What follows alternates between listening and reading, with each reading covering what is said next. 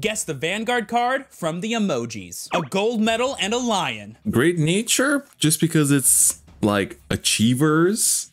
But first place lion could also be Ezel. And it's gold. I'm locking in Ezel.